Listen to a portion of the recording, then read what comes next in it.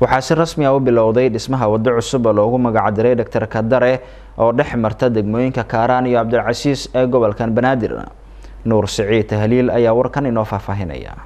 Wadada doctor kadare ee horey loogu yiqiinay waddada bandar qaasim taasoo isku xirta xerada gaadiidka ciidanka booliiska soomaaliyeed ee degmada cabdicasiis ilaa isbitaalka kaysanay waxayna wadadan dhex martaa degmooyinka kaaraan iyo cabdicasiis ee gobolka banaadir wadadan uu dhowaan dhagax dhigay gudoomiyaha gobolka banaadir ahna duqa magaalada muqdisho ayaa waxaa haatan lagu bilaabay hoole lagu dhisayo wadadaasi islamarkaana lagu sameynayo marshibiyoodka iyadoo intaasi kadib la filaya in wadadaasi la saaro laami.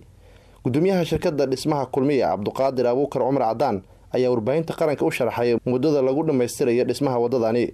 Waa qaybta face one ma ahan keliya intaas inay ku ekaanayso waxaa imaan doonta qaybaha kale oo face two iyo face three.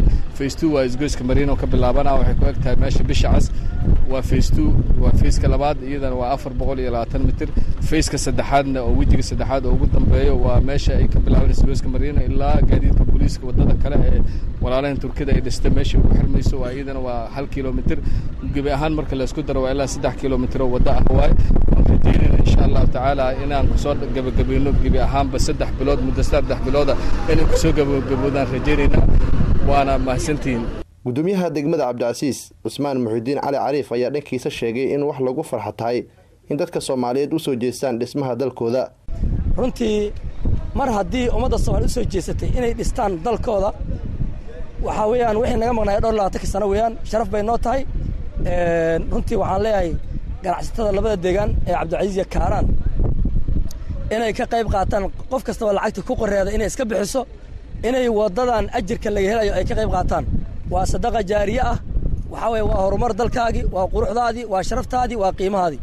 Qof kasta oo meediyaana arkan waxaan u sheegaynaa inuu xaq u leeyahay inuu wax ku darsado. Waa sidaqo cid gaara ma lahanin qabiil gaara ma lahanin dad gaarna ma lahan. Wadda ummadda ka dhexayda weeyaan ku soo darso adigana waxaa waaye waxaad awoodi karto gudoomiyaha ururka haweenka gobolka banaadir jawaahir baarqab oo goobta ka hadashay waxa ay kula dardaarantay dadka dhaqaalaha haysta in ay door ka qaataan dib u dhiska waddooyinka magaalada si loo soo celiyo bilicda caasimadda waxayna tusaale u tahay in dadka soomaaliyeed ay yihiin dad isku filan wax qabsan kara horumarka iyo bilicda gobolka banaadir dhismaha waddooyinka waxaad arkaysaa waa ka soo kabasho boogihii calaamadihii iyo daalkii iyo xabadihii iyo burburkii iyo muuqaalkii mugdiga iyo maaragtay mar walba qofka markuu ag maraayo wadnuhu xanuunaaye. Meel walba markaa maraysa qurux iyo bilica ku soo jiidanayso. Waddadan waxaan ku xasuusanayaa isgoyska mariinada wuxuu ahaan jirta meel biyuhu fadhiistaan degmooyinka isaga yimaadaan. Kadib isbitaalka hooyadii dhallaanka kaysanay markii la aadaayo meel la maro ayadoon la helaynin. Maanta waxaan uga mahad celinayaa labada maaragtay guddoomiye shacabka ku dhaqan labada degmo waddadan waxay kala bartaa kaaraan iyo cabdicasiis nuur saciid taaliil warbaahinta qaranka magaalada muqdisho